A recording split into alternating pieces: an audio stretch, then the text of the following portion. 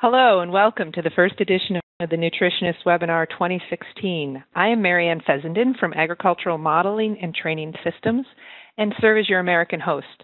The purpose of these webinars is to provide access to technical seminars on a range of topics delivered by internationally recognized speakers. This series is a unique three language presentation held in English, Portuguese, and Spanish. Noted ruminant nutritionists will present in English, hosted by AMTS in the United States, while Marcelo Hentz Ramos from 3R Lab simultaneously translates into Portuguese for Brazil, and Paula Torillo translates into Spanish for Argentina. There will be a post presentation question and answer period during which listeners can submit questions through me or Marcelo and Paula. A complete recording of archived webinars, as well as the question and answer session for each, will be available on the 3R Lab and AMTS websites. We are very pleased and honored to have Tom Overton here today as our first to kick off the Nutritionist 2016. Thomas R. Overton, PhD, is a professor of dairy management in the Department of Animal Science at Cornell University. Tom is recognized nationally and internationally for his research and extension efforts relating to metabolism, immune function, and nutritional physiology of the transition cow, and his work on milk component production in cows. He serves as director of the Pro Dairy program at Cornell and as associate director of the Cornell Cooperative Extension with statewide and regional extension teams within New York to enhance the dairy and agricultural industries in New York State. He teaches the Dairy Nutrition course for undergraduates, an upper level seminar course for dairy oriented undergrad students. He co teaches a course on dairy nutrition for veterinary students and works with students in Cornell Dairy Fellows program. Tom is a native of Northern New York who grew up primarily in Massachusetts. He has a BS degree from Cornell University and an MS and PhD degrees from the University of Illinois. He returned to Cornell as an assistant professor in 1998 and was promoted to associate professor in 2004 and to professor in 2013. He has authored or co authored more than 70 peer reviewed scientific publications and numerous technical articles for conference proceedings, extension publications, and popular press articles. He was awarded the Animal Nutrition Young Scientist Award by the American Dairy Science Association in 2006 and the ADSA Foundation Scholar Award in 2007. In 2013, he was named a faculty fellow of the David R. Atkinson Center for a Sustainable Future at Cornell University. Today, Tom will talk about current research in transition nutrition, in addition to Tom Overton, we are fortunate to have Dr. Tom Tylutki, CEO of AMTS, join us today. He and Tom will both be able to feed, field questions. With that, I turn the presentation over to Dr. Overton. Very much, Marianne, and hopefully you can hear me okay. Yes, I can hear you well.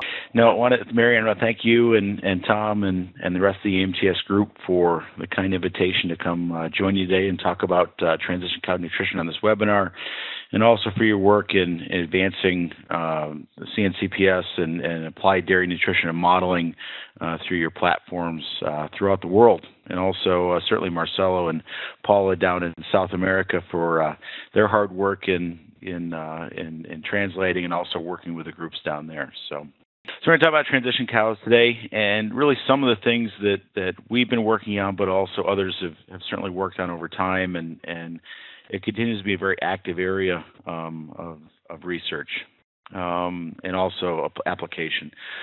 So let's start and just talk about our, our, goals for a successful transition period as we might define it. And, and of course, we want uh, want cows that, that get out of the gate and and, and certainly are, are poised to have high production. Uh, we'd like to see modest losses of body score in um, in early lactation. I mean, it is I think normal and and probably de- and certainly desirable because those cows are geared to partition nutrients toward milk. That there is going to be some degree of negative energy balance and loss of body condition. Uh, but I think high producing herds no more than half to three quarters of a body condition score in early lactation.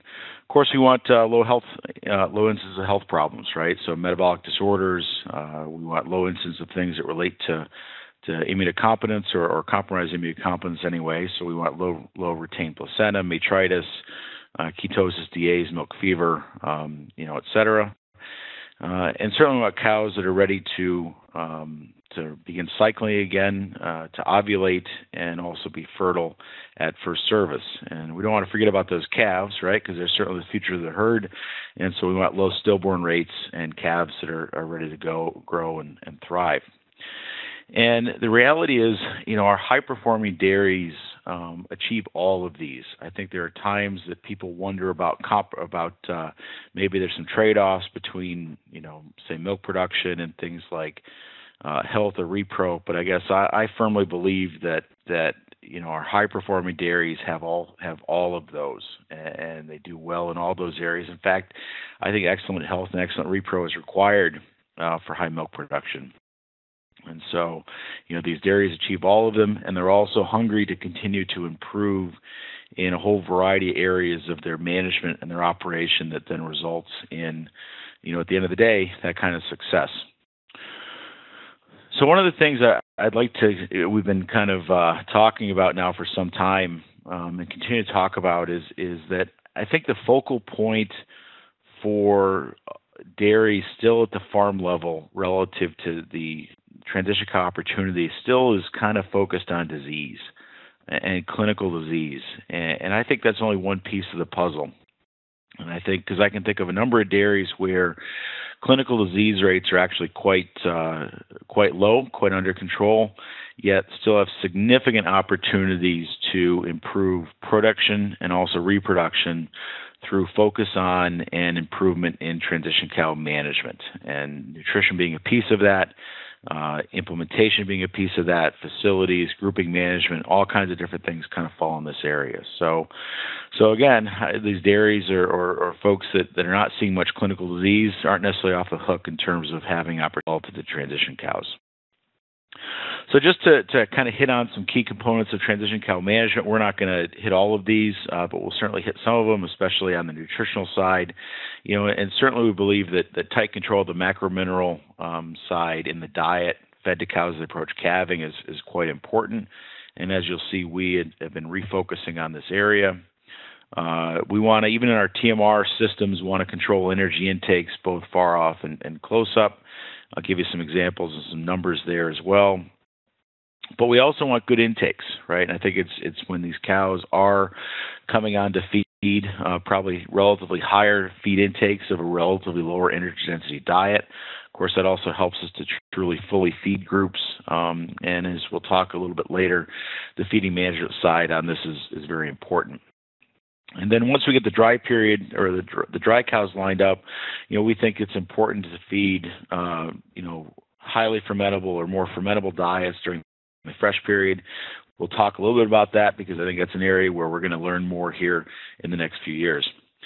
And then also, you know, I think certainly in our, especially in our freestall type systems, we've become very um, sensitized over the last, you know, eight to ten years or so on all the things that happen from a non-nutritional standpoint, and um, and you know things like stocking densities, group changes, um, heat stress abatement, um, you know, combing or you know, ideally segregating cows and heifers to prevent that source of competition as they go as they both go through their transition periods. So, you know, lots of different areas there on the non-nutritional side that I think again we continue to strive to to do better in. And then the last thing I've got here, and again we won't really talk about it today, uh, but it's really a key area as well. Is is you know we have uh, increasingly opportunities to do better in terms of putting into into place systems not only for for the cow level but also herd level monitoring systems using things like uh, you know blood ketones. Uh, some farms have now rumination tags or rumination monitors to monitor rumination um, activity or behavior of these cows pre and post calving. And I think we'll continue to see a variety of things come into play um, in this Today we're going to just kind of hit a few uh, a few hot topics uh, again, and, and you know not try to cover everything comprehensively, but to hit a few things that I think are are getting some and will get some attention here as, as going forward. So the first one we'll talk about is hypocalcemia. Um, you know, it's uh, it's an old topic that's been made new again, and and certainly on lots of dairies, uh, clinical milk fever rates are very low.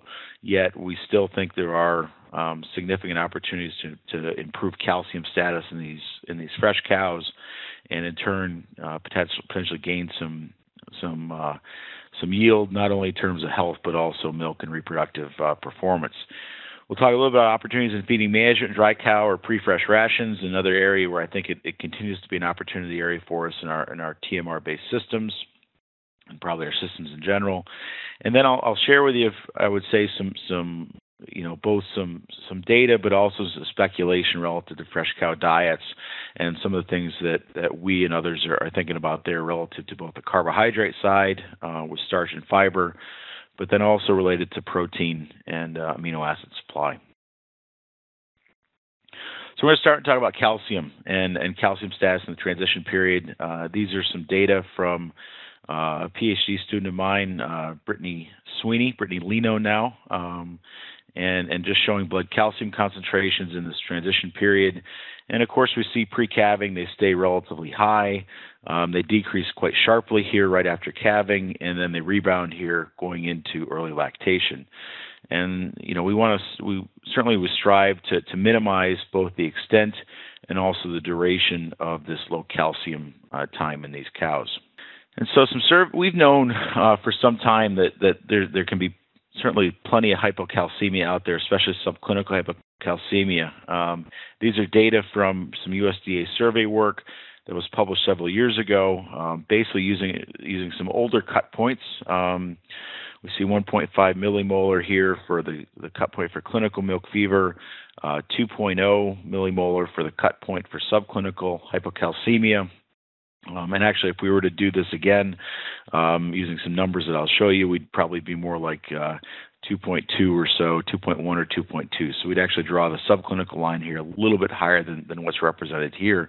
But even this older data set, you know, we see that 25% of our cows were, or the cows in this data set were categorized as being subclinical hypocalcemic, uh, at least first calf heifers, I'm sorry. Then we get to older cows, we're looking at 40 to 50 to 60% of cows subclinical, and also um, some you know lower percentage, but still some percentage is categorized as being clinically hypocalcemic post calving. Okay, so again, this isn't necessarily new, uh, and, and, actually, again, if we redrew the line uh, based on what we know now, um, we'd actually characterize even more cows as being subclinically hypocalcemic post calving. So here's the question. I used to, uh, to some extent, I used to hate it when people would put pictures of icebergs um, up on the slide when they talk about subclinical disease. Um, I put this slide together about a month ago, maybe six weeks ago, because actually I think it applies. And and so that's the question. And we've got the iceberg here. Um, above the surface, we have you know uh, much uh, pretty low percentage, and a lot of dairies. Again, we can get through a variety of means. We can get clinical milk fever rates down to one or two percent of cows, maybe three percent of cows. So very very low um, incidence of clinical milk fever. But even on those farms, we see, you know, we typically would expect to see quite a few cows um, that we categorize as being subclinical hypocalcemic. And so again, we've known this for some time. The questions are right. So even if we're low in, in clinical milk fever, you know, is the is the the bottom of the iceberg is that important? You know and and frankly do we need to do anything about it? Do we need to do anything beyond just the things that we might do to prevent clinical milk fever? And i think the answers are starting to tell us that we really we really do need to be uh, or there's an opportunity for us to be more aggressive in terms of trying to manage um, uh, subclinical hypocalcemia hypocalcemia out on the dairy. So a couple studies here that really kind of um, I, I, think illustrate that point. And for me anyway um, for me anyway, suggests that we really do need to do better here. And this is one at University of Florida, uh, Natalia, Mart- Natalia Martinez um, and co-authors down there. And, and, what they did here is, is they looked at cows with low blood calcium concentrations um, and see less than 8.6 milligrams per deciliter based on their data during uh, days one to three post calving. So if they had a single blood calcium concentration below 8.6, they were uh, during this time frame they were categorized as, as hypocalcemic. And what they found is these cows had uh, poor immune cell function. So neutrophil function, which is one of the main categories of immune cells in this fresh cow, uh, was decreased. They had uh, higher NEFAs and ketone concentrations, so again, indicative of poor energy status in these cows. And so that points to lower dry matter intake in these cows. They had higher metritis and also endometritis. And they and finally they had lower subsequent reproductive performance. So it took them longer to get pregnant. And so, you know, this was one of the first data sets I think that really showed us that that this subclinical hypocalcemia wasn't something they just kind of got over the the hurdle and uh, it didn't have any real long longer term ramifications. And and clearly we see not only the, the blood markers but also the, the disease and then finally the repro uh, a reproduction that suggests that you know what we may need to do better here. And then this was the study that, that really I think was the one that, that I found quite compelling. And this was led out of University of Guelph, but a variety of collaborators in the U.S. and Canada. Uh, involved 55 herds in the U.S. and Canada. They they had uh, weekly blood samples on these cows pre and post calving. And one of the things they looked at was blood calcium in week one post calving. And what they found here was that herds that had higher proportions of cows with blood calcium below 8.4 milligrams per deciliter. Again, I don't don't want to get too wrapped up in 8.6 versus 8.4. We tend to use 8.5 because it, it's in the middle. But I think the point there is it's higher than the, what we pre, what people previously thought. But anyways, less you know herds with lots of cows under 8.4 during week one post calving had about two and a half times the rates of displaced abomasum. They uh, they produced about four ki- four kilos, so that's nine to close to 10 pounds of milk um, less milk across all cows in the herd at first test day. And then they also had a, a associated with a 30% decrease in conception rate at first service. So, um, so that's pretty large. Again, studies like this are associative.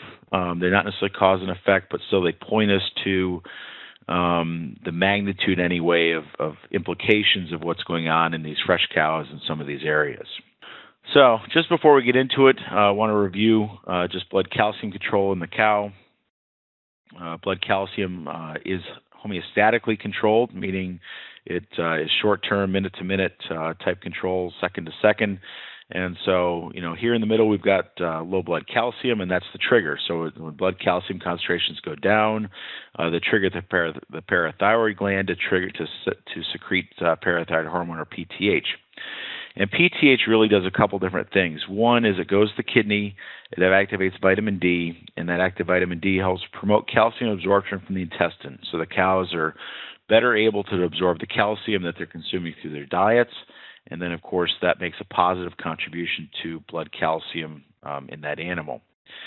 And then the, the, other thing that PTH does, and this is one that's probably more classically recognized, is PTH goes to bone and causes resorption of calcium and likely also phosphorus as well. And so you get improvement in blood calcium that way. So we kind of think about um, about the calcium system really having kind of a dual mode um, or dual mode of action relative to improving blood calcium concentrations. Now, one of the things we've known for some time, and and you know this research goes back. Um, you know, 40 to 50 years now, uh, probably got very active in the 80s anyway, is that cows that um, that are fed, say, high potassium diets before calving um, are slightly more metabolically alkalotic, right? So slightly higher blood pH. And in these animals, what what we now understand is that um, through the work of Jesse Goff and others, is that this uh, this trigger for low calcium and PTH seems to work okay, but basically the rest of the system does not work as well. And so these cows are less able to um, to absorb to absorb calcium from their diet. They're less able to resorb from bone, and so they're more sluggish in terms of of uh, of, um, of basically being able to, to improve their blood calcium concentrations. And so, thus was born the concept of uh, of DCAD, right? Dietary cation anion difference. Um, uh, the first work worldwide was done, I think, in the late 60s, early 70s. Uh, first work in in uh, the Americas was done in the in the early to mid 80s, and so this is a concept that's been around for a while. Um, but again, it's getting some renewed attention out there for sure, and I think deservedly so. And so basically, calcium, uh, basically DCAD relates to the balance of, of cations such as sodium, potassium in the pre-calving diet, and also anions such as chloride and sulfur. And so the concept here is we want to actually potentially decrease or minimize sodium potassium as cations. We want to potentially increase chloride and sulfur uh, provided through through anionic sources potentially. That causes some changes in terms of uh, of, of metabolism in the cow.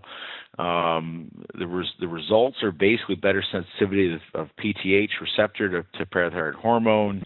There's potentially some calcium release from bone to um, to offset the pH drop, and there's also calcium release from the urine as well. So, multiple mechanisms there, um, basically making the cow better able to respond to that calcium challenge that she's going to see at or about calving.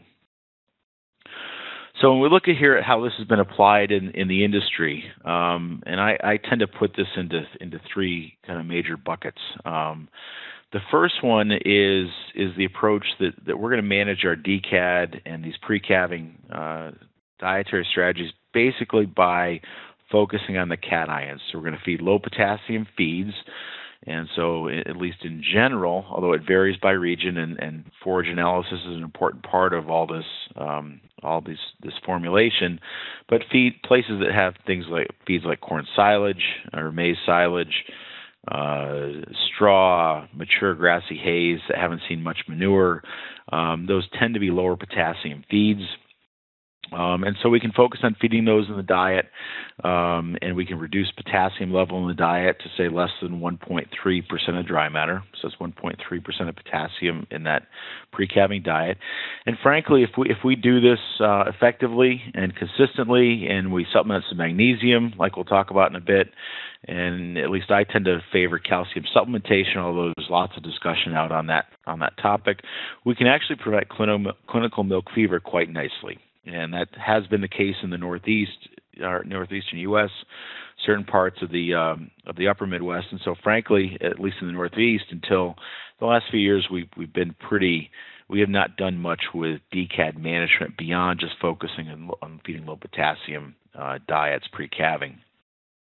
Of course, the challenge there is we probably don't do we probably don't effectively uh, touch the subclinical hypocalcemia very well. The second approach here is to feed low potassium uh, forages and feeds, along with maybe a partial use of anionic supplements. So we're going to we're going to attempt to to feed some chloride and or sulfate or sulfur, uh, and slightly decrease that calculated DCAD. So we'd run that DCAD down to maybe around a zero.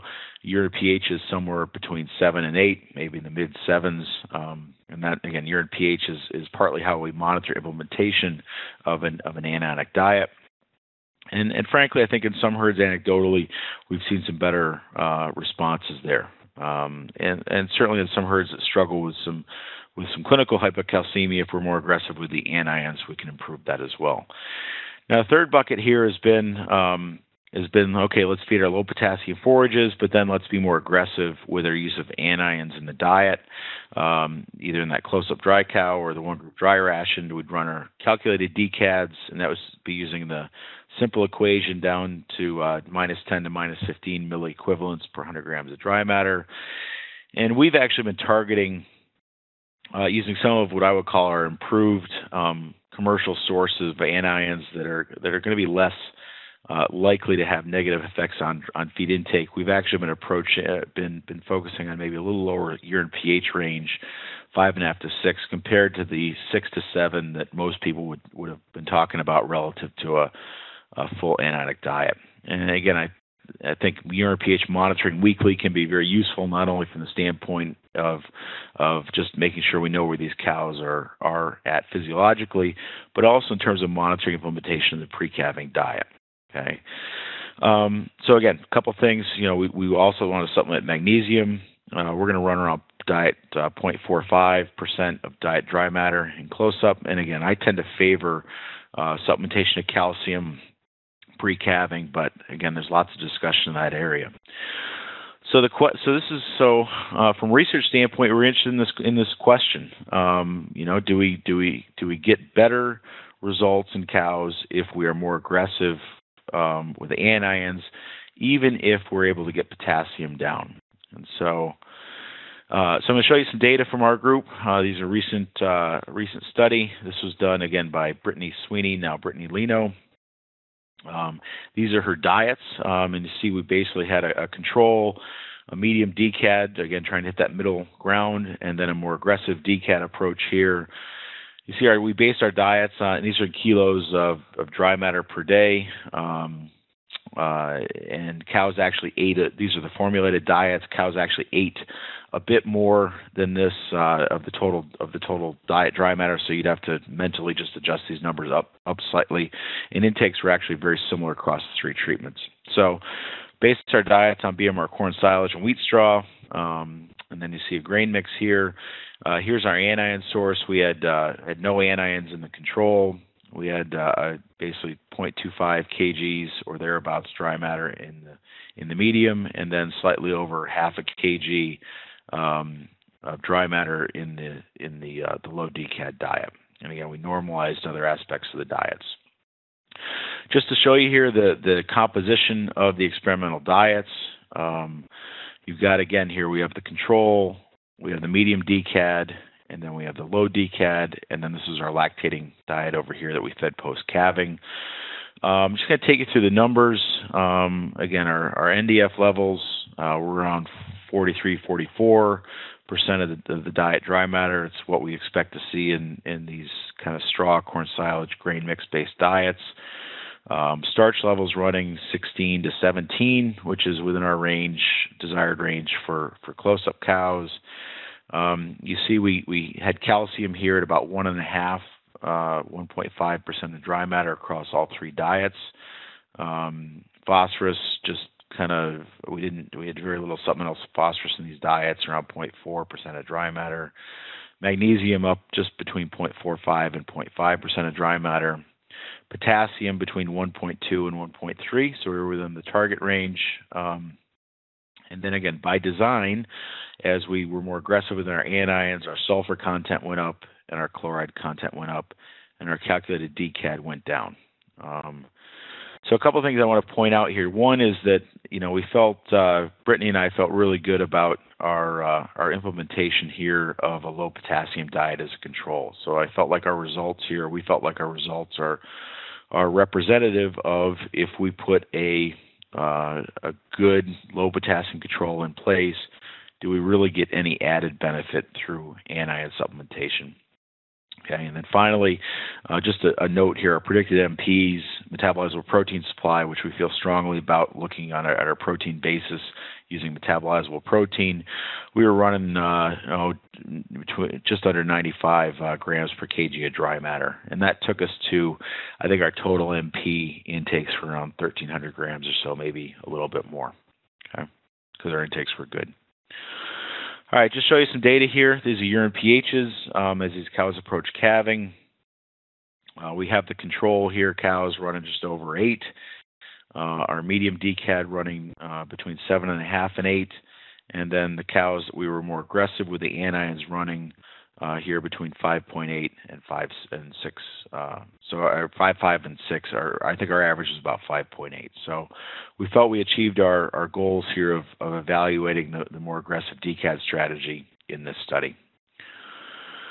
I'm going to show you here plasma calcium. Uh, so these are blood calcium concentrations, uh, both uh, before calving and also after calving. And you see here Brittany and the and the team uh, really fairly intensively sampled blood calcium on the day of calving and for the first five days after calving, and then they backed off on their on their sample frequency thereafter. Okay, if you look at our stats, we had a, a linear um, effect of of DCAD on blood calcium, in that as we got more aggressive with the DCAD, um, our blood calcium concentrations improved. Um, probably most noticeable here with this low DCAD treatment. You see the, the fairly distinct separation here of this treatment uh, uh, relative to the others. Although again, the overall effect was linear. If we look at, um, uh, we also had a trend anyway for a, treatment by parity interactions. So these were all uh, second lactation and greater animals in this study. And again, we had blood calcium. We had an overall effect on blood calcium, but we also had a parity interaction. And, and that parity interaction is really this this pretty noticeable response here um, in blood calciums post calving in the older cows. So those third lactation and greater cows really responded quite nicely relative to being more aggressive here with the anions. And I, and I think that matches what we see on farms as we've been more aggressive um, anyway with some of these uh, DCAD approaches out there. All right, just going to show you just dry matter intakes pre and post calving. Um, our intakes of these diets, uh, we're running 14 to 15 kilos uh, pre calving, so again, pretty good intakes. Um, and essentially very similar intakes here across the three treatments. Some of you notice we may you see a, a significant quadratic effect, but again, if you when you look at the means, they're very close to each other. We had 30 cows, about 30 cows per treatment um, on this study, so 90 cows total. So it's uh, pretty good power to to be able to assess some differences like this. So again, I, I look at this and I say that these intakes are very similar. Post calving, weeks one to three, we did see an increase in, in dry matter intake as we were more aggressive with the anions. So the magnitude of that response was about 1.3 uh, kilos, so that translates into, you know, about three pounds of dry matter intake um, as we improvement as we went from the control all the way to the uh, to the low DCAD or more aggressive DCAD treatment. And then finally, I'll show you milk production here. Uh, milk production, we did see improved uh, milk yield in weeks one to three. Uh, we had slightly over a, a, three kilo response here in these cows, so that translates into, you know, again seven, you know, seven pounds or so anyway, in terms of better milk yield in these cows as we were fed more more aggressive with with anions. So just to just to summarize here, I haven't talked a lot about the energy side, um, but but uh, just give you some summary guidelines here for dry period stuff. Far off, again, we like to keep energies down. Um, in general, uh, we certainly subscribe to the controlled energy strategies. Uh, uh far off, uh, you guys see the numbers here. You know, about 0.6 mcals per pound of NEL. 1.3 to 1.4 mcals per kg of NEL, 110 to 120 percent of energy requirements, usually less than 13 percent starch, uh, far off. You know, macromineral side, we don't worry about uh, them within within reason. Certainly some supplementation, but we're not trying to do anything special relative to DCAD anyway, at least far off. Uh, close up, especially if the same diet is fed to heifers and older cows, I tend to favor um, some energy supplementation there. Um, I tend to like to see a little more energy in these diets. Uh, you see the numbers here 110 to 130 percent of energy requirements you know, in our um, corn silage, straw, grain mix systems, like to see those starches in the in the 16 to 18 uh, percent, like I showed you before. Uh, big believer in, in supplement and focusing our protein supplementation on rumen undegradable sources, and also uh, maybe some supplemental amino acids as well. And again, metabolizable protein supply for Holsteins, you know, somewhere in that 1,200 to 1,300 gram range. And we've increased that a little bit over the last little while, been compelled by some recent data uh, that have been pulled together. Um, and so again, we, we certainly favor uh, protein supplementation, especially, and, and again with these uh, straw corn silage uh, diets uh, that are that you know are in that 16 to 18 starch range, we're going to really need to focus on uh, rumen undegradable sources to get that metabolizable protein. And then again, we certainly have, have refocused on and and believe that these macromineral relationships and DCADs are are, are quite critical. Um, you know, and, and uh, certainly favoring being more aggressive there. Vitamin supplementation is important, and trace elements, and also certainly favor uh, supplementation of some of our more bioavailable, and improved forms of, of trace minerals. And the feeding management consistency is is critical um, during both periods. So just a quick note here on that, right? So um, these are two dairies. Uh, it's a few years ago now, but the reality is you really have to chop the straw or hay in these diets, and these diets simply don't work if they are simply don't work if uh, if that straw or hay is is not chopped. Those diets are very sortable. Um, and the dairy on the left here was having significant dry cow issues. Um, and you see the straw here is very long. Uh, the cows were sorting it, and it was uh, it was a, a, a, a not a good deal. You folks in South America should be thankful, by the way, because uh, our good friend Tom Tylutki just came in and threw a snowball at me from uh, from uh, um, from outside. But being the consummate professional, I'm going to maintain focus on my presentation. So, all right. So the dairy on the right, though, this is a dairy that we'd work with, and uh, and you see also a, not only a higher straw inclusion rate um, in this diet, about three kgs of straw uh, in in about 12 kgs total dry matter package, but also see it being much better incorporated. And it was interesting in, in talking to this dairy um, later on. You know, they basically told me that, that that was, you know, that change, right? Putting in that TMR system to putting the labor, the equipment, uh, the the effort into getting that uh, straw chopped, getting that TMR right, would probably paid them more dividends in terms of better transition cow overall um, outcomes than, than, about anything else they've done over time. So don't underestimate the, the importance of, of, really good implementation of these diets.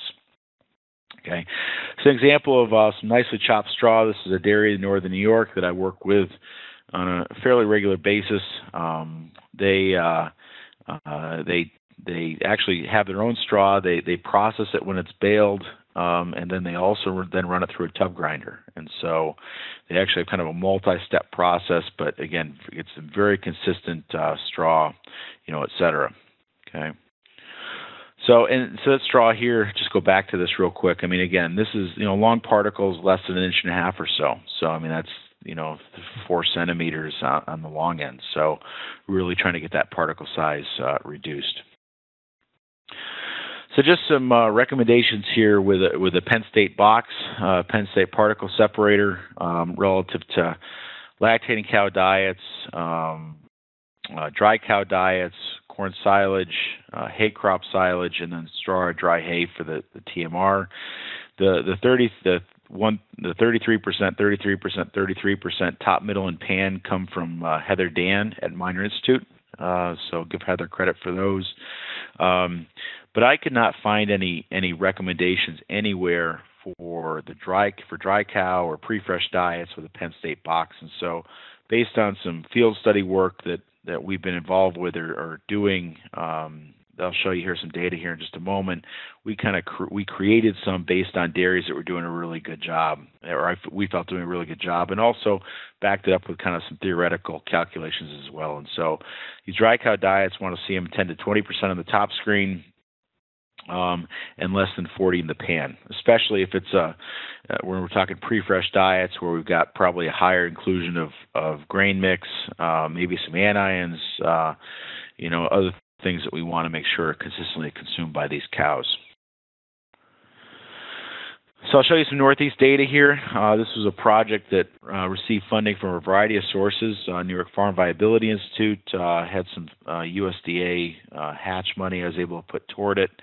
Um, also got some industry funding from Mike Tatro at Poulin Grain, who's a regional feed company in the Northeast. Um, and this is actually 72 farms worth of pre-fresh TMR samples. Uh, Allison Lawton, uh, research technician, grad student in my group, was the lead on this project. And what we got here, I'm just oriented to it. The the the the lighter blue bars that I've got my cursor over right now. This would be our recommendations. So again, 10 to 20 percent in the top, uh, 50 to 60 in the middle, and 30 to 40 in the pan. And then the the the the other figures here actually we call them box and whisker plots. And so the the boxes here in the middle represent the basically the the the 20 or 25th to 75th percentile. The farms up top be the the top quarter of farms or top 25 percent. The bottom of the bottom 25 percent. And as you see, a couple things here. One is see lots of variation. The second thing you see is it looks like about 25% of our farms are probably doing a really good, or at least of the farms in the study are doing a really are doing a really good job in this area. So, I think again, it's a it's a real area for some opportunity there. Okay. So I'm going to switch uh, switch gears again and talk about fresh diets. And, and again, this is an, an, area of I think quite active work by a number of different groups. I'm going to take you through some of our thinking there, um, and and again, happy to have some discussion or whatever uh, as the case may be. So some of the, some of the things we've been asking is, you know, one is, you know, how fermentable should fresh cow diets be? There's been discussion about starch levels, uh, lower starch, higher starch. Um, you know, there are some data with forages like BMR corn silage showing some improvement um, in fresh cow performance with more fermentable fiber um, as well. But you know, again, back to the starch side, do we need to feed lower starch diets to fresh cows? Second question here How important is physically effective fiber in these diets? Is there an opportunity maybe for some higher bulk, higher fermentability fresh cow diets? And again, you'll see our thinking there. And then thirdly, I'm just going to touch briefly on uh, protein or metabolizable protein supply the post calving cow. So, first question to starch or not to starch? Okay. So at this point, there have been three studies that have been done by uh, the groups at Miner Institute and uh, and, and our group at Cornell. Uh, two of them done at Miner. Uh, Heather Dann, you see the lead author on this one, uh, published at 2011 Cornell Nutrition Conference. Uh, Sarah Williams, who was an intern at Miner and now is a PhD student in in our group at Cornell or my group at Cornell, presented some data just this last year at at the joint annual meeting for dairy science and animal science. And then uh, we've got a uh, second study here, or a third study here. This was done in our group. Maris McCarthy, who recently uh, uh, graduated from our program as, with her PhD, and these studies are published, focused on starch level in the fresh diet and uh, and also rumensin supplementation. All right, so I'll take you through Heather's uh, study first. Um, again, published in at the Nutrition Conference in 2011. Uh, 72 cows, second and greater lactation, fed them a higher straw controlled energy diet for a 40 day dry period. Um, at calving, fed them one of three different starch uh, regimens. First was a low starch diet, about 21% starch for the first uh, 90 days in milk. Second group of cows received a, a medium starch diet, about 23% for the first three weeks, followed by a higher starch diet until uh, about 90 days in milk. And then the third group of cows was fed the higher starch diet beginning at calving and beginning for the first uh, 90, 90 days, 91 days in milk. Show you her diets here. Uh, again, a corn silage and, and haylage base. Um, you see low, medium, and high. They were the same percentages in all diets. Uh, about 4% wheat straw as a percentage of dry matter. And then the treatments were really uh, put together by varying the amount of cornmeal um, as the starch source, and then kind of byproduct feeds like soy hulls and wheat midds um, as again the higher fiber byproducts. And when Heather went from low to medium to high, uh, the cornmeal went up and the byproducts came down. And got the, the, the results or the diets, uh, again, like we showed the starch on the slide before. All right, just going to show you the performance data from the study. Um, this is intake and, and, milk during the first 13 weeks of lactation. Um, I'll orient you to this slide. The first column here is, is cows that were fed the low starch diet throughout. The this column here is the cows that were fed the high starch diet throughout, and then the middle here is cows that started on that medium starch diet and then transitioned onto the high starch diet about 22 days after calving. Okay. Now, what we see here relative to performance is, is actually very similar feed intakes and milk yields here and solids corrected milk for cows fed the, the medium high versus the, the low. Um, can make an argument here that perhaps milk yield is a little bit better here um, in this middle treatment compared to the lows, um, but uh, again, not a you know not statistically different from each other. What was significantly different was the performance, both intake and milk yield here of these cows fed the higher starch diet was was lower, right? So significantly less feed intake. Um, they lost about one to one to one and a half kilos of dry matter intake uh, per cow per day, and milk yield here was significantly uh, decreased here for cows fed the higher starch diet um, right after or beginning at calving. Okay. So I go to our study here. Um, I'm going to uh, just, just kind of quickly take you through that as well. We ended up with about 70 cows in the study. They were fed a higher straw, moderate energy diet. And actually, this is a mistake. There were actually we had first calf heifers also in this study, so uh, it was actually first calf heifers and older cows as well. Uh, during the close-up uh, at calving, they were fed one of two different diets: uh, a lower starch diet, about 21.5% starch.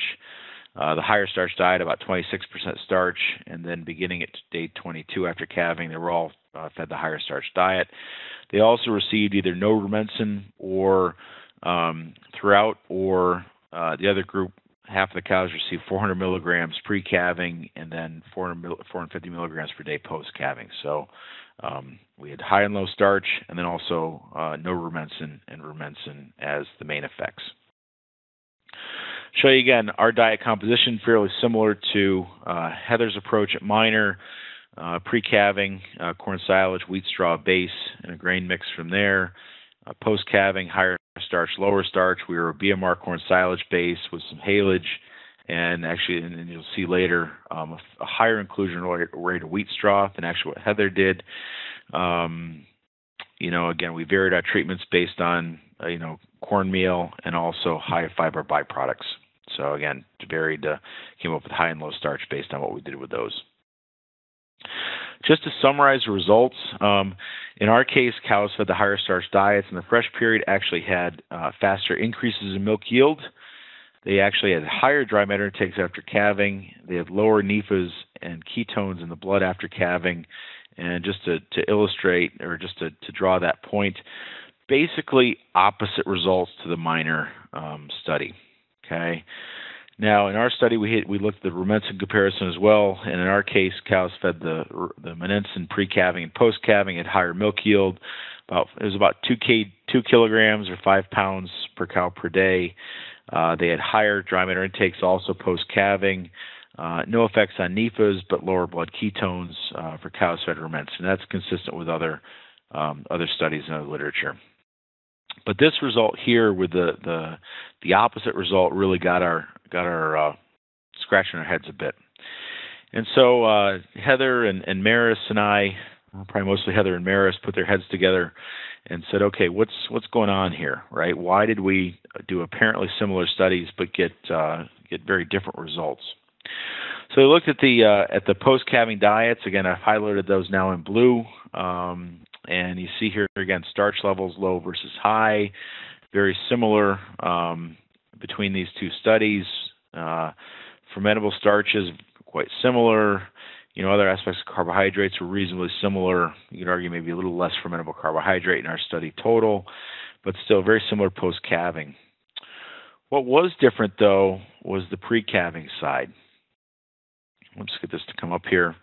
And in, in Miner's case, they were actually feeding much lower starch levels before calving than we were. They were running about 13 and a half we were running about 17 and a half. And so what we wonder is, you know, does the does the um, the right level of starch post calving depend in part on what we're doing before calving? And if we're feeding a lower starch diet before calving, like like the Miner folks were, maybe indeed we do need to um, not go all the way to a higher starch diet. Maybe we need to, maybe we're better off if we have like an intermediate step here um, immediately after calving for the first two or three weeks um, on the other hand, in, in, our work, right, if we're if the starch levels are higher before calving, maybe we can make that jump all the way to a 26 or 27 percent starch diet. So that's just what we're what we're thinking, um, and I'll show you some data that may also kind of support that as well. All right, so this brings us to kind of the rumen adaptations. I mean, if if if the jump or the increase in starch uh, and how big that increase is is important, um, it does bring us back to thinking about rumen adaptations. And, and, honestly, this is an area where it's been relatively poorly studied. Um, the early focus was on papillae development, and that was one of the justifications for feeding high energy diets, and that appears to be mostly a myth. Um, I mean, there is published data, but it does, probably doesn't doesn't seem to apply, at least within the ranges we typically feed to these cows. But clearly, we are making uh, some changes relative to fermentable carbohydrates, um, and certainly there are some data out there that show that rumen microbial populations are shifting, um, et cetera. We also have this data from uh, Greg Penner. This was part of his PhD work at uh, Saskatchewan. Um, and uh, Greg actually looked very intensively at rumen pH uh, using continuous monitoring in cows at different time points here relative to calving. And what and he categorized them as as you know either being mildly rumen acidotic, moderate, or acutely. Uh, mild was any was I think between 5.5 and 5.8 um, uh, rumen pH. And what he basically found here is during days one to five, this big spike in in just some some low level or mild acidosis that disappears here as they went on to lactation. And so it got us thinking about, and others thinking about, you know, boy, maybe this this transition and these first few days after calving are pretty important from the standpoint of rumen adaptation. And so Miner Institute, again, Heather, uh, Sarah Williams, Heather's involved in this one as well, has recently followed this up. Um, or, or, done some work in this area, actually looking at uh, starch levels and acute phase response. So that would be inflammation in these cows, and, and certainly cows that would have rumen uh, and acidosis would have uh, evidence of systemic inflammation. They had uh, 16 cows in the study, um, uh, similar approach to previous. Fed them either a, a lower or higher starch diet beginning at, at calving through 21 days in milk. All right, this graph shows some of the rumen pH data and their time below uh, pH 5.8 for these cows fed the higher or lower starch diets. Uh, you see here on the left uh, just average rumen pH values for these cows uh, by days in milk, and see again lower rumen pH values for cows fed the higher starch diet um, overall, and also more time below pH 5.8. And and so you see that here in these cows. These cows fed higher starch.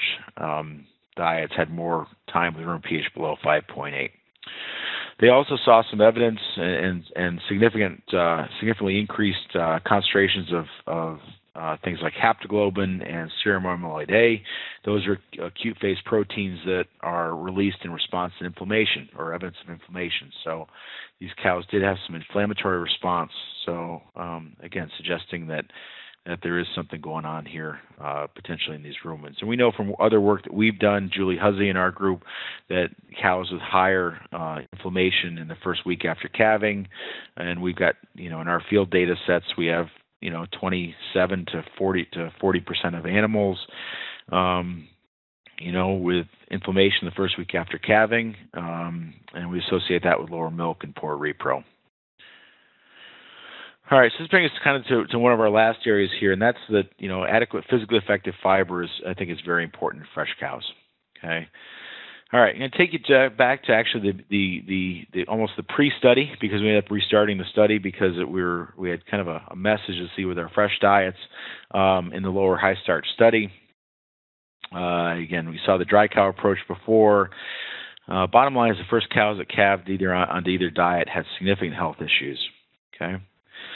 Now, I'm going to show you this uh, slide here. Um, Marcelo and Paula are probably uh, screaming because of all the numbers on here because it's very difficult to translate. But um, the this uh, this table is from a paper that we put in the 2015 Cornell Nutrition Conference proceedings, which is available for free online. So just Google or search for Cornell Nutrition Conference 2015, and you'll see the full write up on what I'm going to show you. Okay. So I'm going to take you through this here. Um, pre-calving diet, I've already showed you. Post-calving, I'm showing you four different diets here, but really they're they're it's not quite fair to present them this way because this this would be the high starch and the low starch diet before we made a major diet change. Um, and this would and the right two diets here are the high starch and low starch after we made a diet change. So think of the two diets on the left here as before, the two diets on the right is after. And you see what the change we made was we um, we decreased the BMR corn silage, we increased the wheat straw, and we left we left everything else the same uh, between those two sets of diets. So um, again, we we we uh, ended up with a situation where the fiber level in the BMR corn silage and also the haylage was lower than what we'd formulated for. And so we fixed that by actually increasing some straw in that diet to give some more structure. All right, just to illustrate the health issues, again, this is directly from our, our Cornell Nutrition Conference paper. Uh, in this high starch, low fiber diet, we had seven cows calve and we had four DAs out of seven cows. Uh, the low starch, low fiber, we had 10 cows calve, we had two DAs. Um, so, as you, and we also had strong clinical ketosis, especially in these cows fed the higher starch diet. But basically, lots of health issues, and uh, we ended up again doing a diet reformulation. Interestingly enough, afterwards we calved uh, 77 cows onto these, uh, you know, onto these two different diets and had no DAs at all right? So very, very good health um, after after we made that diet change. Okay. Now, last thing I'll show you here is the intakes. And again, this isn't quite fair to do it this way because um, these four post calving diets were not being fed at the same time. Remember, before and after the change. Pre calving, very similar. Post calving, what you see here is is these cows uh, fed the the the high starch, low fiber diet, so not enough fiber there, had very poor intakes post calving, and that goes hand in hand with the with the DAs that you saw and the strong ketosis. Now, the middle tr- middle groups here in terms of intake were cows fed lower starch diets, regardless of, of before or after the change. So, um, kind of a middle of the road response here. But what was interesting to us is these cows fed the combination of the higher starch and the higher fiber or higher physically effective fiber through the straw actually had the best intakes overall. And so we're just following this up now with a, a more controlled study. Uh, we have been been you know looking at uh, maybe higher straw inclusion rates in herds that are feeding some actual specific fresh diets, maybe in the range of one to one and a half kilos.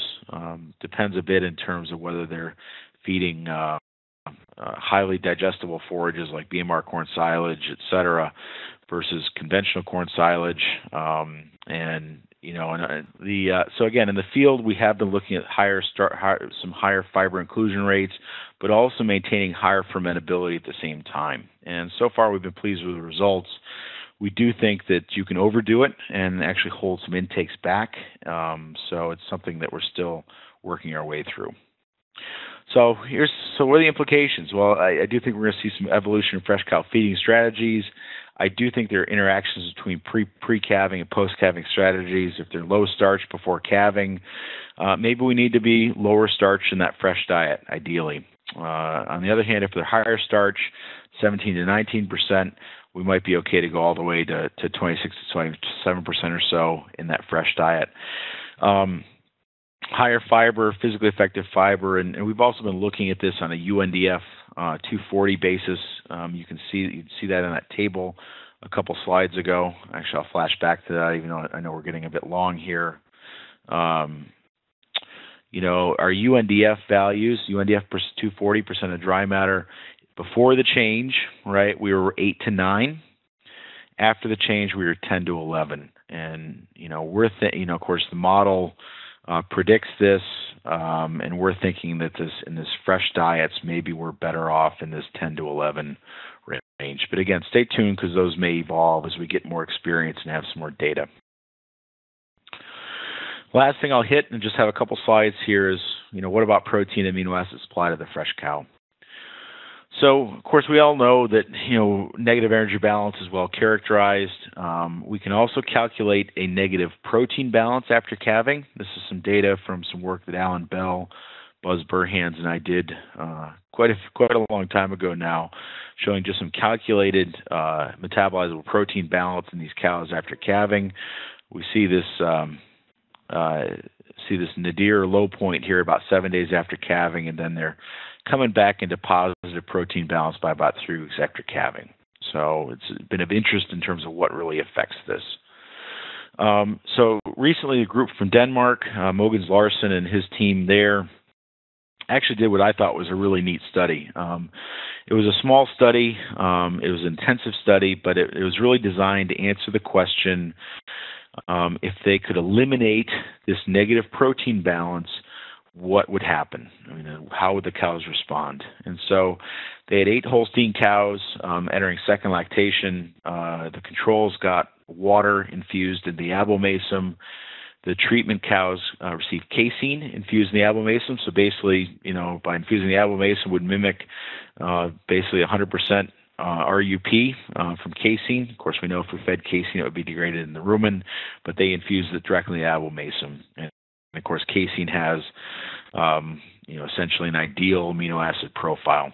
And what they did is they infused in the abomasum basically in amounts that were sufficient to meet the calculated deficit in protein. And so they supplied about 360 grams. That'd be about three quarters of a pound at one day after calving. Uh, 720 grams at two days after calving, so that'd be about a pound and um, pound and a half.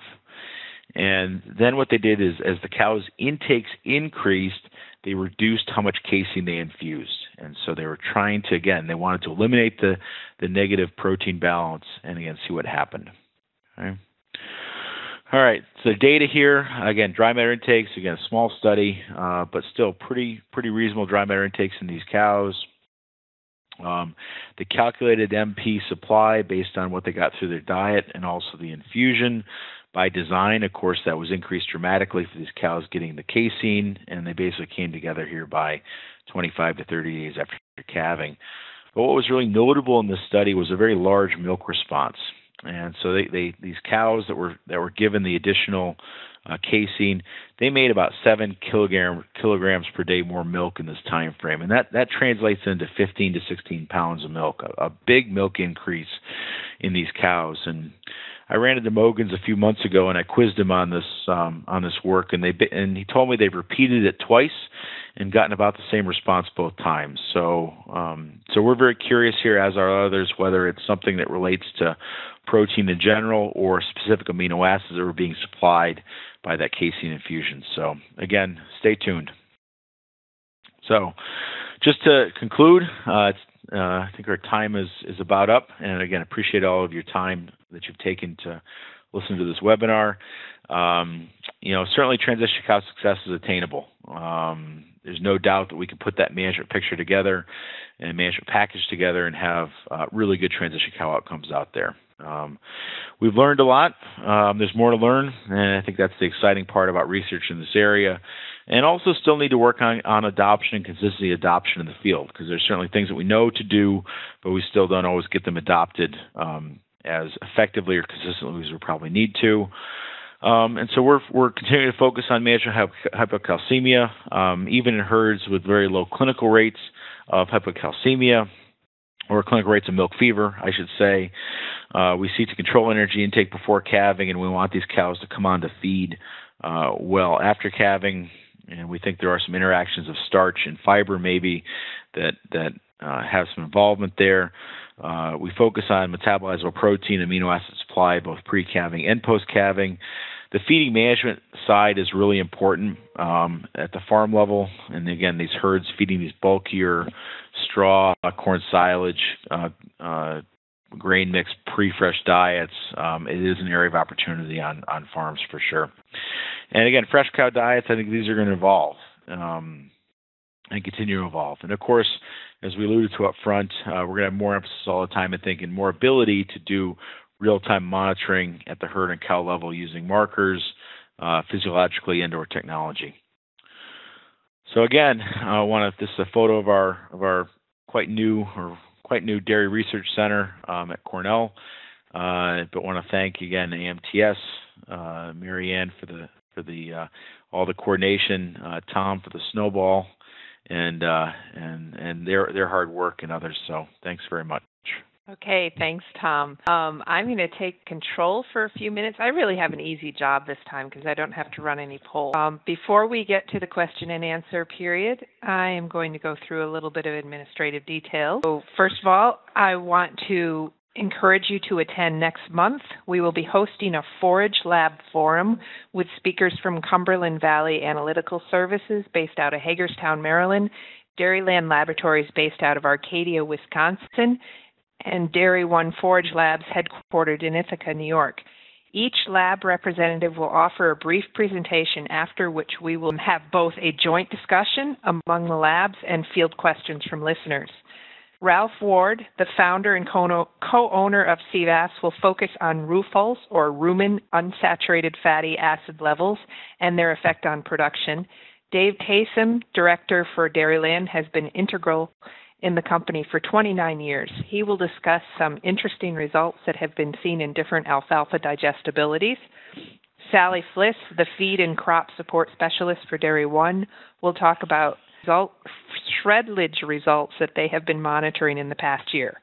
Please be sure to join us for the next webinar that will be March 9th at 5 p.m. Eastern Standard Time, different times depending on your time. I would like to thank the people who made this possible Tom Tylutki, AMTS and Glo- USA and Global, Marcelo Hentz Ramos at 3R Lab in Brazil, Paula Turiello in Argentina. Our translators at each location always have the hardest job. We also would like to thank our generous supporters that make it possible for us to get great speakers like Dr. Overton and manage the program. We thank our gold sponsor, Ajinomoto Heartland Superior Nutrition through Amino Acids. Our silver sponsors are Arm & Hammer Animal Nutrition, Virtus, makers of maker of Strata with EPA, DHA omega 3s, and Prequel, Prequel with omega 6s. Bronze sponsors are Jefo, Life Made Easier, Dairy, For- Dairy One Forage Labs, and Dairyland Laboratories. I will now open the floor up for questions. And remember, in the English language if version, if you have a question, raise your hand and type in the question section, and I will read your answer. Um, Marcelo and Paulo will handle the questions from our Portuguese and Spanish language webinars that are listening in. We'll start with some questions. I'm going to unmute Paula's and Marcelo's mics so that they can also thank Dr. Overton, and we'll get going.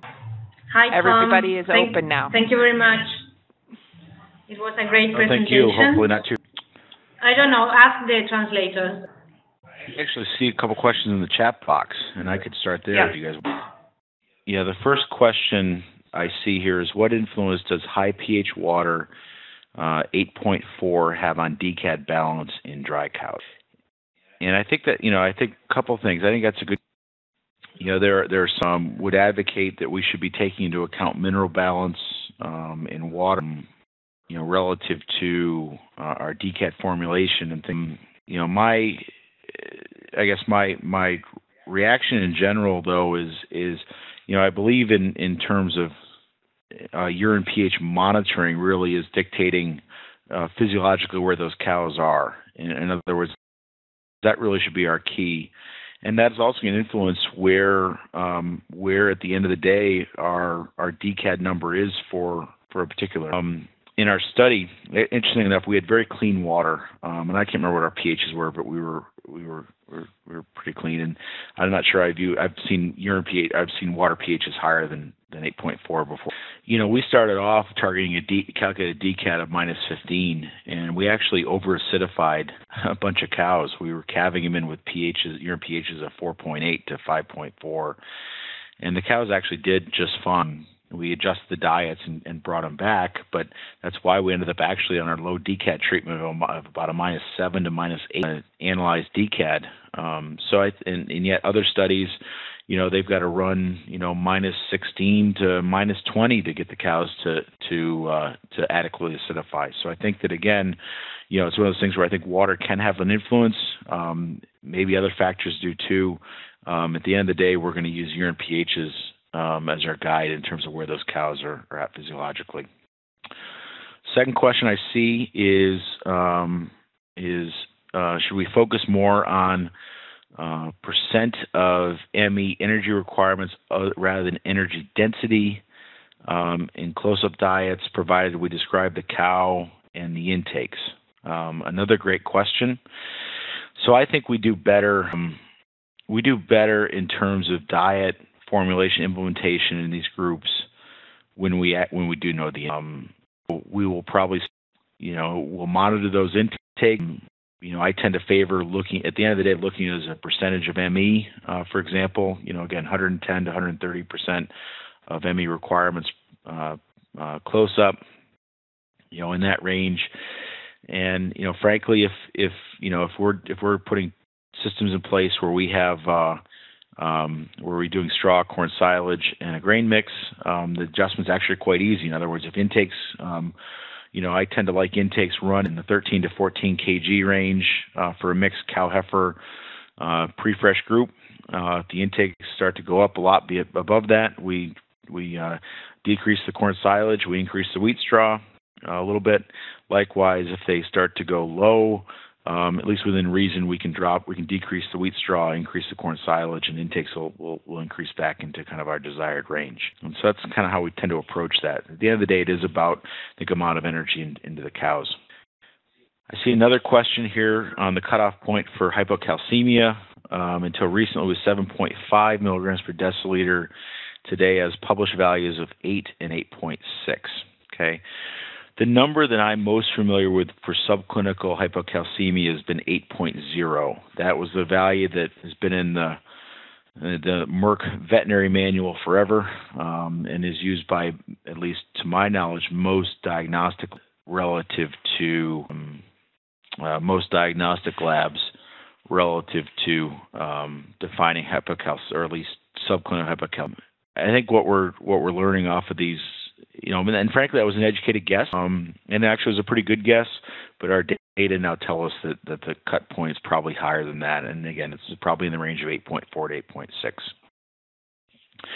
Uh, I'll do one more, and then I see there's questions. Uh, Marianne tells me there's questions from Paula. Question says, do you have experience using butyric acid in diets of cows in transition to stimulate the growth and activity of rumen papillae? One, I do not. Um, two, at least in terms of butyric acid silages, we're usually we're usually trying to keep those out of those diets because we get worried about palatability. Um, you know, again, I, I don't know is I think the the I, am not sure the papillae are really our rate limiting uh, factor here in the, in transition cows fed typical diets. I think there is for uh, rumen adaptation, but it, but I think it's mostly related to microbial adaptation, and that's probably our more um, important thing that we're going to focus on. So, Marianne, either questions from Paula?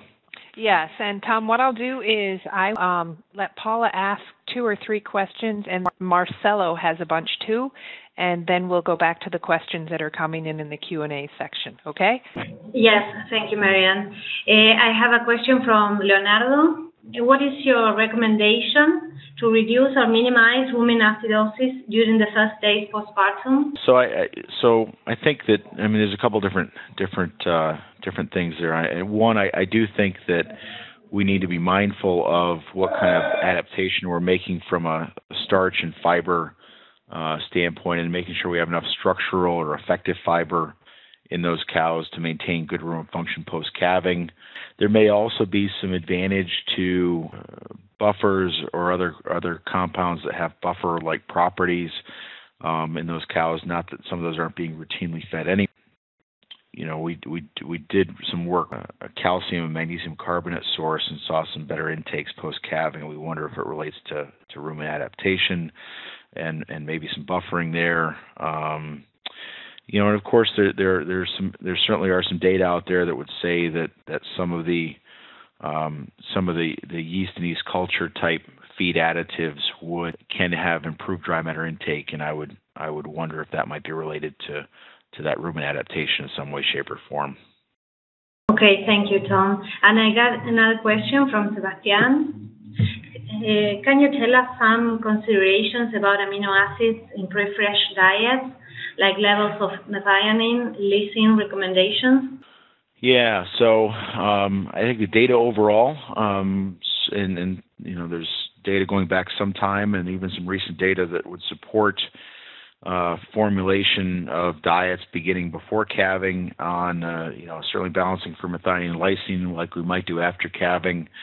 Um, uh, for milk protein, but certainly showing production responses beginning pre You know, in in six point CNCPS 6.5 biology, and I'm looking here at Dr. Tylutki for him to to chime in as well, or or, or lend his uh, his sense here because our our levels have adjusted a little bit based on the the newer biology in the model, but we're probably looking at methionines around oh, 2.7% of, of MP, um, metabolizable protein beginning pre-calving.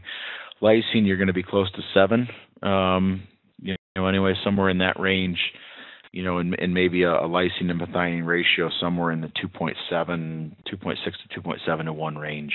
Um, but again, the data overall, I think, are, are, pretty decent overall for and fairly consistent in terms of supporting amino acid balancing. I want to just circle back here. Dr. Tylutki also sent me a little private message uh, relative to mineral you know, back on the on the water question um, relative to, you know, what matters is the mineral component of the water and not the pH. And you know, question has to be what's raising the pH. And I would agree with that. I mean, it is, you know, at the end of the day, you're probably more thinking about the mineral component. At the same time, you know, again, at the end of the day, the cow is the one with the with the answer. And so what we have on paper really is a place that we start, and then we adjust as needed to get the cows physiologically where they they need to be. And there's a number of factors at the farm level that probably influence that. Hello, can you hear me? Yes. Excellent. Thank you, Dr. Overton. Excellent presentation. We have a lot of questions here in Brazil, and maybe the first one, you probably have that a lot of the same issue in the farms in US.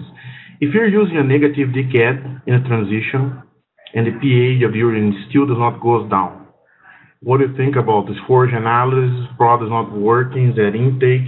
In the same line, uh, another uh, nutritionist here is asking me, I have a diet with 1.2% chloride on a dry matter, and the pH of the, the urine does not go below 7.15. The only sources that we have in Brazil to work with are ammonium chloride and calcium chloride. So can you discuss a little bit on that issue of maybe trying to work the DCAD but not having a result on urine pH? Yeah, so um, it's a great question, and there's, there's a few different pieces to that question. I mean, one one certainly is is you know cows that that uh, we seem to need to be very aggressive to to acidify um, the urine.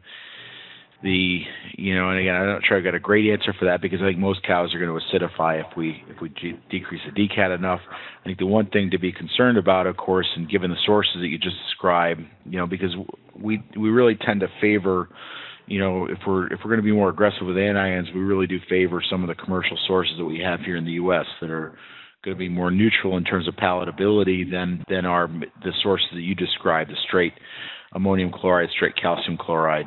Um, so, you know, because again, if we if we if we decrease intakes in these cows, then we're we probably do have some challenges there, um, or probably can cause some challenges there.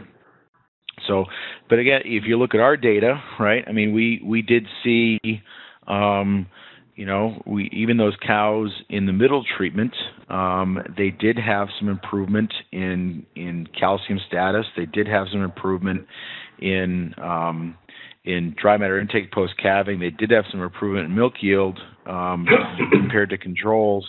Yet, you know, their their urine pHs were still in the upper sevens, right? So even without huge effects on urine pH, we did see some improvement there with some anion sources.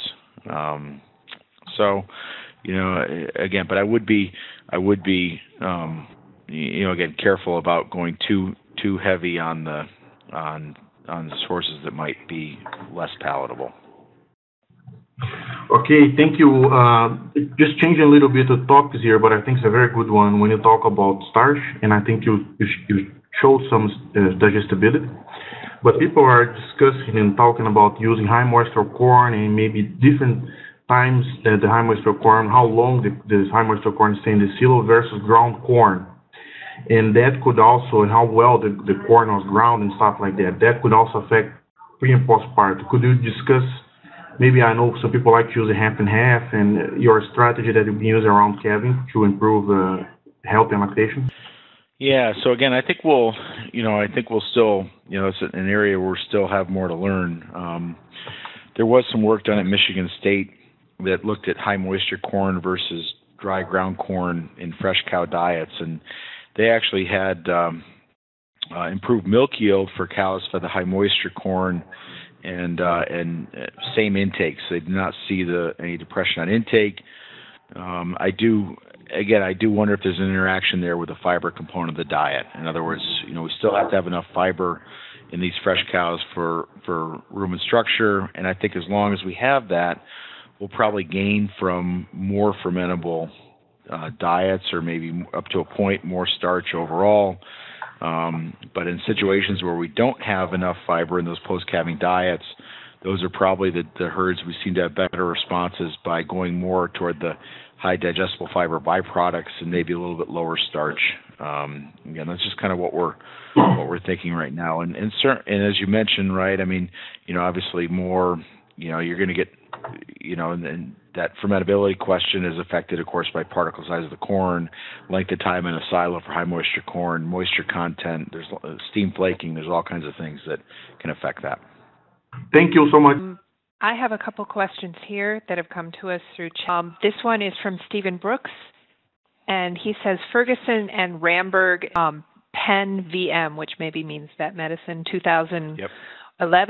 Low calcium diets, their goal less than 4% calcium per day, no supplemental calcium, phosphorus, magnesium 0.3 to 0.4%, close to 0% MF. Can we do this on barley silage diets? Um, Stephen is from the UK. Uh, I want to make sure I got the got the question right. I'm assuming that that, that they're talking about 0.4% calcium. Not there's consensus on the mineral side and mineral approaches. I think there's areas where there's lack of consensus, and I think that people, you know, there's reasonable consensus on things like uh, getting potassium down. There's although some may feel less strong about that than others. Um, I, I see the question now from Marianne. You know, um, you know magnesium supplementation, the Penn group, and and we would be uh, you know on the same page there. My number is a little bit higher than theirs, but they still would favor magnesium supplementation. I think probably the big area they differ that we differ in is I tend to favor calcium supplementation.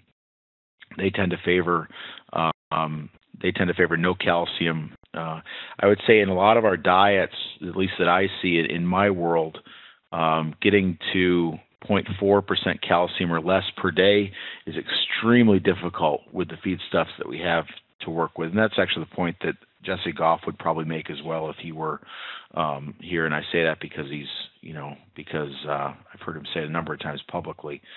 Um, you know, and and again, so, so I although again I do find people that will run more aggressive DCADs and they'll run calciums in the you know 0.6 to 0.7 percent range or, and be quite happy with it. So I think that's an area where we we do need some more research, honestly, in terms of calcium levels in the context of of antibiotic diets.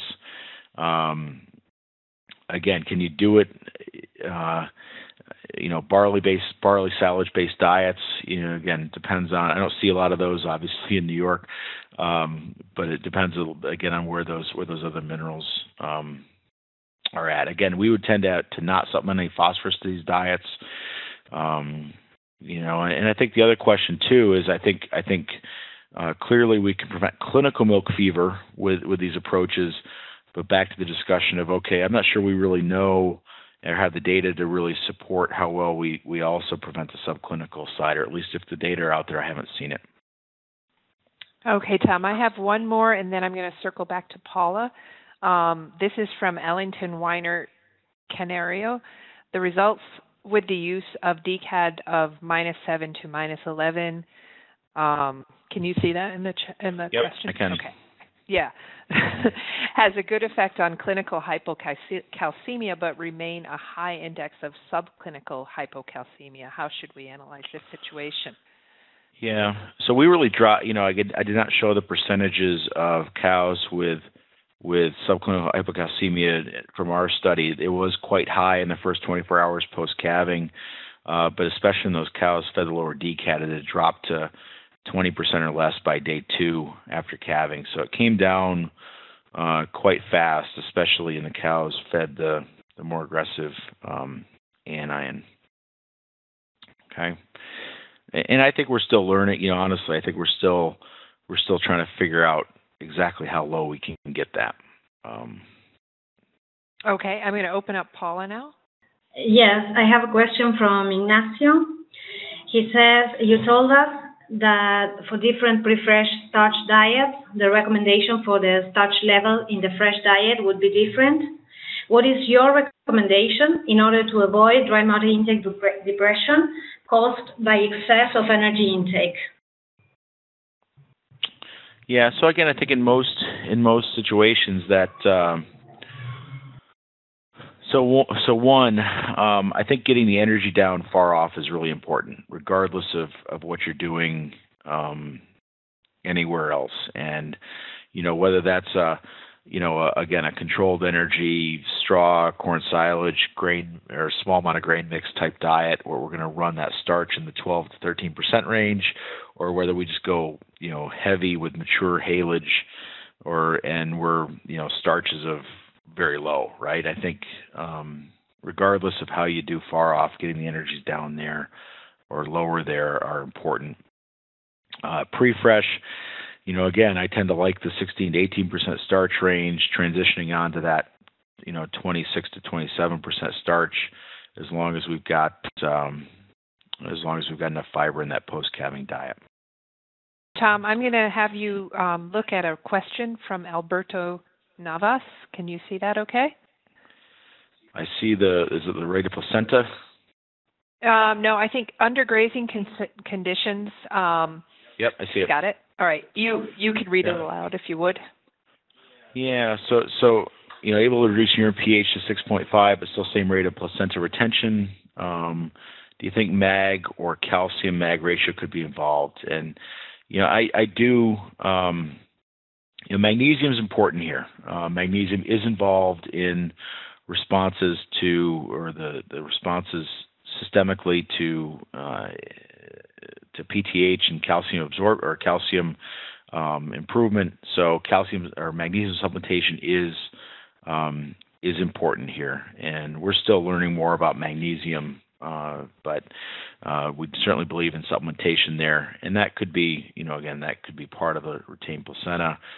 You know, of course, the, the other things that you think about um, you know, again, energy and protein relationships are also important relative to to immune function. Um, you know, other trace elements and you know, uh, vitamin E's and selenium, you know, are important relative to immune function, right? right? So, you know, when I think about retained placenta, um, you know, I, I think either you know some type of, I mean, it could be a nutritional insufficiency, or at least in some of our, I realize you're in a grazing situation, but under some of our you know, uh, freestall based herds, you get into the stocking density issues, so you have stressors, and that's also going to immunocompromise to some extent, and so and that can also cause retains. So, uh, but mag- magnesium certainly could be involved there.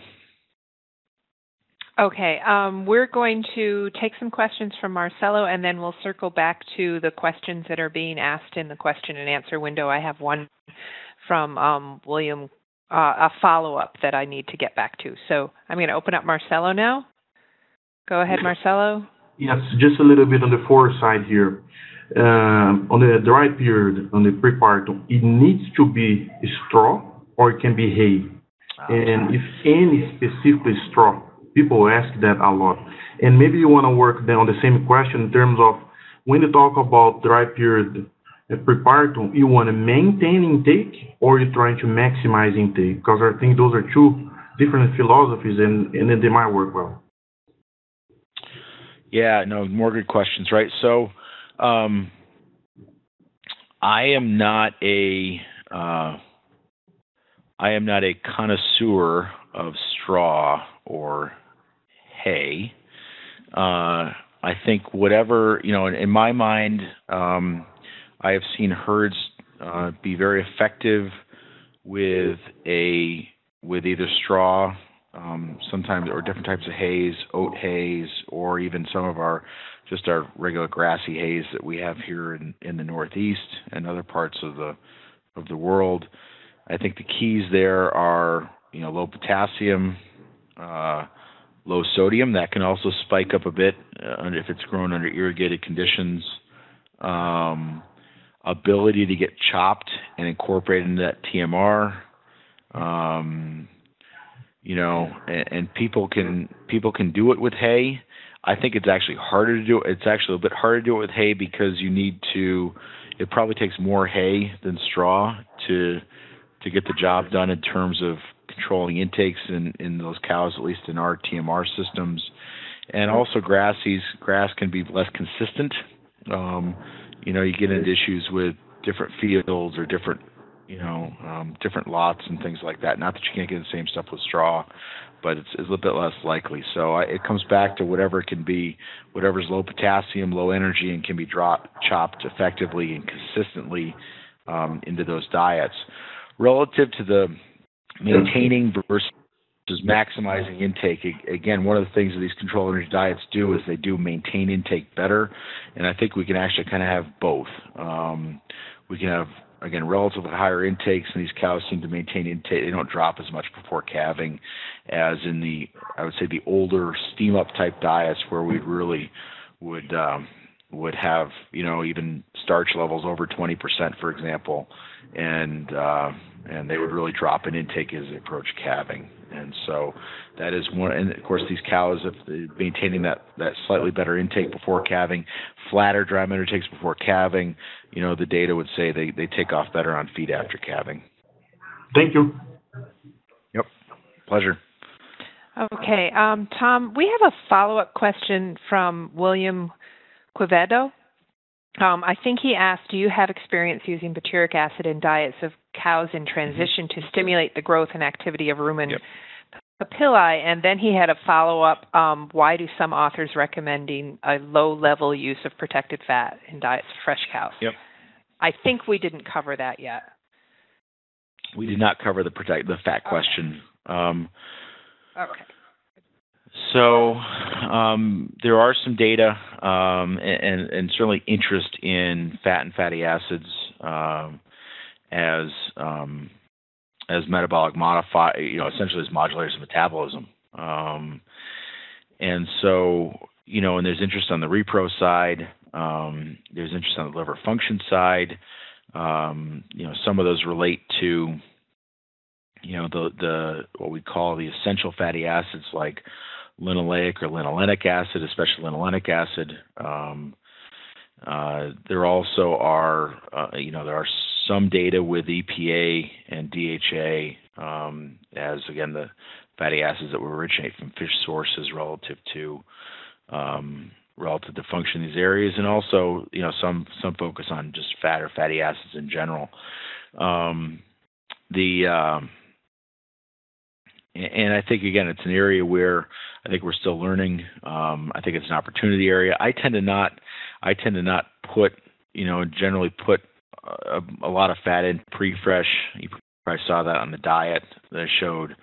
Uh, post-fresh, I mean, you know, I would I would support some, you know, certainly some supplemental fat, you know, up to you know, between four and a half and five percent. I tend to maybe be a little more conservative on fat feeding than than some others, in part because I'm trying to get the carbohydrate side right. Not there can't be some advantages there on on fat sources, but I, I think it's I think it's an area where we honestly we could use some more. We could, I mean, we have some data in the area, um, you know, and could use some more work. But it's a good question. Okay, thank you, Tom. Um, we're going to ask more questions through Paula. Yes, I have a question from Eduardo from Uruguay. What is your opinion about using BMR sorghum silage instead of straw, thinking on high forage fiber, low energy pre-fresh diets? So again, not being, you know, just, you know, of course, BMR, it would have, depends on fiber digestibility. I would think it would have reasonable fiber digestibility. You know, one of the things, I, I think it you know, some of it's going to come back to the mineral side, right? Uh, at least some of the some of the BMR sorghum silage, I think that I've seen that people have grown at different times in the Northeast, the potassium levels tend to be higher. Um, so that would be that would be one thing that might concern me a bit. Um, you know, one of the things we're trying to, I mean, the reality what we're trying to do with some of these controlled energy diets and this and the straw and the hay is we're actually trying to you know, control energy of the group, but we're we're also trying to limit energy intake of the top end cows, or the cows are going to be hot. So we're trying to limit. We're almost trying to cap the the top end of those of, of that group um, because they physically fill up on that diet. And so, you know, if that BMR has similar properties, um, it could be effective. But my guess is it's probably got pretty reasonable digestibility. But again, without looking at the at the analysis. Okay. This is from Maurizio B. On high or low starch diet, on the difference of haptoglobin, is it possible that the difference is given by health issues between groups? So the difference in hapto so okay, uh, great question. So haptoglobin is going to increase in the blood. Uh, it's a it's not a it, for a variety of reasons. So cows with metritis um, are going to have higher haptoglobin. Cows with a lameness are probably going to have higher haptoglobin or other acute phase proteins. Uh, mastitis, um, you know, uh, uh, again, as we talked about, probably a ruminal could be an acidosis could could uh, could do it as well. So so it's not specific. There are a variety of different things are going to increase it. So absolutely, it could be. Um, absolutely, it could be um, health mediated as well. Um, uh, you know, again, in the in the data I was showing you, um, in the data I was showing you, you know, the um, you know there were not differences in health issues between those those two groups per se um, in terms of other types of clinical uh, disorders. Um, so, and I think so. Where we come, of course, uh, you know, think about that for a minute. To a, a cow with a dystocia, right? Difficult calving is going to have um, probably some inflammation uh, thereafter. So, um, so I think what we're trying to say here, to some extent, is, um, you know, and we do know from our larger epidemiological data uh, that, you know, that that inflammation and these markers that indicate inflammation that first week after calving do have negative associations with milk and with reproductive function and reproductive performance. Um, we currently don't know all the causes of that. I think the ruminal side could be one of those, right? But but certainly other diseases or health issues might come into play as well. Okay, Tom. Marcelo has one more question. The last one just came up, and maybe I think you did not talk too much, but I have to ask. Uh, choline or protected methionine would be more effective on trying to minimize ketosis. Maybe discuss a little bit in comparing both. Yeah, so I, you know, kind of my the, the the answer where I've kind of come to is is you know I think choline and methionine both have uh, important roles in what's going on in these transition cows, but they work differently. Um, there are, I mean, we can draw metabolic pathways that show interrelations between them, which might lead people to think that you can um, that you can trade, you know, that, that you can swap one for the other. Um, I think choline uh, data very nicely show overall effects on uh, fat export by the liver, uh, VLDL export, um, you know, lowering fat accumulations, things like that. The more recent data on methionine, you know, it actually suggests perhaps an immune or oxidative um, oxid or antioxidant or oxidative metabolism type role there, and so they're, they're different um, in my opinion, and I think both um, have the potential to show responses. And I, I in terms of production, um, you know, I would look at them as something we might uh, supplement both to, to diets here for, for cows in this period. Um, the uh, um, and so you know again I think there's I think there's roles for both. Thank you. Yep. Okay, Tom, can you see the question from Stephen Brooks? It is fat cows, CF4 oh, yep. plus, um, condition score 4 plus, Mulligan, UDC, Uri dropped nadir calcium substantially at calving, is monensin the cure all? so, um, so, you know, so, I mean, so I haven't seen exactly Finbar's work there, Mulligan's work, um, but uh, you know, you know, we know we know that fat cows struggle with intake, um, and and certainly part of the whole calcium story is intake of these cows, and so it would make sense anyway that cows that are that are overconditioned uh, could struggle more with with blood calciums uh, simply because of, of poor intakes um, in those cows. There may be other stuff going on, but but intakes is is probably a clear one. Um, a, a totally different uh, question. I mean, I, am not aware of any relationship of monensin with, with calcium uh, for us in the U.S. You know, um, you know, I, I think again based on uh, both mode of action relative to propionate supply, which is required for, gluco- for glucose synthesis, which is in in uh, quite tight uh, or quite high demand in these post-calving cows. Um, you know, the data are fairly consistent, supporting uh, subclinical ketosis reduction, but also uh, milk yield improvement, and and again, we showed both milk and intake improvement there, as well as better uh, metabolic function. Um, I want to circle back real quick to Marcelo. Just sorry, I, I didn't answer quite the end of that relative to ketosis um, and choline and methionine. That was my bad. Um, you know, neither one of those is going to be directly anti-ketogenic. Um, so, uh, you know, obviously, if it's a fatty liver complex that's leading toward a ketosis, one might expect some choline or or whatever to improve that. But um, you know, I, I'm I don't think that either one of those is going to be directly anti-ketogenic. That doesn't mean that if we don't see if we see some improvement in metabolism in some way, shape, or form um, because of those, that we might not see some improvement there in in blood ketones, but it's they're not going to be as direct as maybe some other things. So sorry, Marianne and Marcelo. Oh, no, no problem. Um, I think unless somebody types in something very quickly that we are out of questions. You've done a fantastic job. I'm going to let Paula and Marcelo thank you before I close out the webinar. Okay, I want to say thank you to everybody there, Tom, Marianne, Marcelo. It was a great presentation. Thank you. It's Thank you so much, Dr. Overton. We certainly yeah. enjoy in Brazil, and you help a lot answer excellent questions. Thank you, all the team. My pleasure. Thanks, everybody. All right. Um, I want to thank everybody for attending and for the great, great questions. Tom, thank you for kicking off our second year. We have a great roster of speakers in 2016. Check the AMTS website for a complete list of speakers, topics, dates, and times.